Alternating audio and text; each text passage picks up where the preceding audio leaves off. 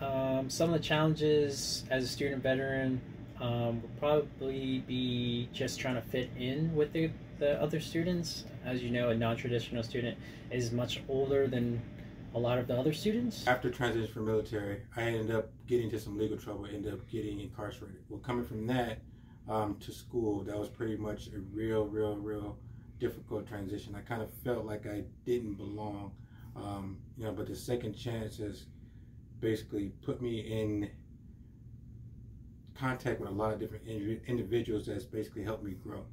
Yeah, um, the biggest challenge that I've had so far is just finding a stable, like, finding stability in my life and finding a stable place to stay. Um, I kind of had a little bit of a, an issue, or I kind of had a little bit of difficulty finding out how to function as a civilian. Um, I have had to write a resume for the first time in nine years. I've had to um, get back into job search, um, finding my own place to stay, and it, it's been kind of hard juggling that along with juggling how to be a student. Um, and the PAVE team has really helped me with that. I didn't understand, I didn't know how many resources were available to not only veterans themselves, but student veterans, mm-hmm. um, especially on campus, and just um, the community, the veteran community in general.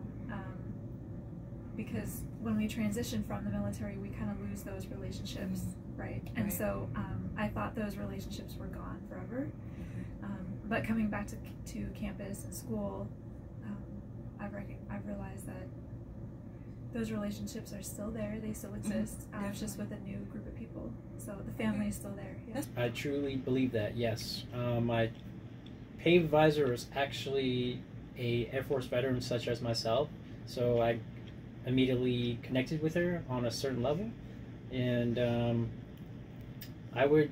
I was that kid that came up to the PAVE office, and I sat there and uh, I just wanted to talk, you know. So she was there to talk most of the time, and she always checked up on me, and uh, I tried to do the same thing for my students. So, so far, yes. Um, I just I'm in a place where I don't really have uh, solid connections. I, I, this is new. This isn't the place that I joined the military from. So just knowing that I can have somebody to talk to or somebody that I can network with or somebody that can connect me to something that I need is been a really big relief for me. So, and we're not viewed as broken. We're definitely not. We we have experience that we'll find. You'll find that a lot of um, a lot of other students and even professors, people with PhDs, just simply do not have. Um, so we have to harness that and be proud of that, tap into that in ourselves, and and um, learn how to express that.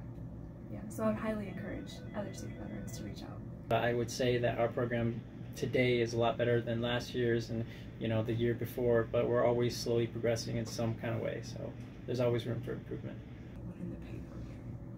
I would really like for PAVE to be on every campus, if not every major campus of, of, yeah, throughout the nation.